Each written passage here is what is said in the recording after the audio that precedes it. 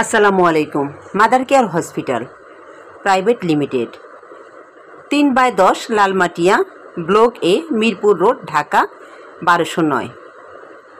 আপনারা দেখতে পাচ্ছেন যে আমরা এখন মাদার কেয়ার হসপিটালে এবং প্রচণ্ড পানি পানির ভিতরে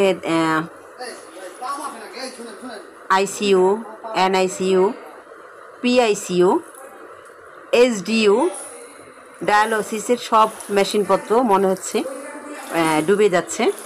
বৃষ্টির পানিতে, এখানে প্রচণ্ড বৃষ্টির পানিতে সব কিছু হসপিটালের ভিতরে ঢুকে গেছে।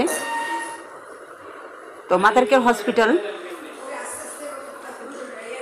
এখানে যিনি আছেন আমাদের শিমুল ভাই।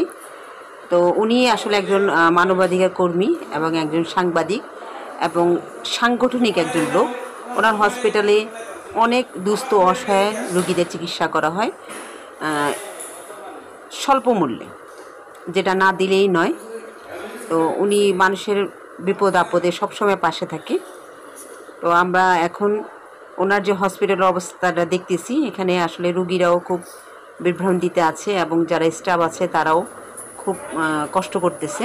তো আমরা আশা করব যে অচিরে বৃষ্টির পানি কমে আবার স্বাভাবিক পরিস্থিতিতে চলে আসবে। আর আমরা এখানকার যারা আছেন তাদের শুভকামনা করব যে হয়তো বৃষ্টির পানি কমে গেলে এই রুগীরা আবার স্বাভাবিকভাবে তাদের যার যার স্থানে তারা সুন্দরভাবে চিকিৎসা নিতে পারবে। তো পুরো হসপিটাল জুড়ে দেখতেছেন। এই হসপিটালের বাইরের যে অবস্থাটা, কোমর পর্যন্ত পানি। কোমর পর্যন্ত পানি নালে হসপিটালের ভিতরে ঢোকার কোনো প্রশ্নই আসে না। এতটা পানি এই পানিগুলি এখানে পানিগুলি জমে হসপিটালের ভিতরে পুরো নিচতলাটাই মোটামুটিভাবে ডুবে গেছে। তো আমরা চেষ্টা করেছি আপনাদেরকে তুলে ধরার জন্য। কিন্তু আর কি সব কিছু তুলে ধরতে পারতেছি না। কারণ পরিস্থিতিটা এতটা খারাপ এবং বৃষ্টির পানি যে পার হয়েছে যে আপনাদেরকে দেখাবো। সেরকম পরিস্থিতিতেও আমি মানে হাঁটতে পারছি না। কারণ আমি যদি এগুলো আপনাকে দেখাতে চাই, তাহলে আমার নিজেরই ডুবে যেতে হবে পানিতে। আমারও ভিজতে হবে পানিতে। তো বৃষ্টির পানিতে আমার সমস্যা হয়।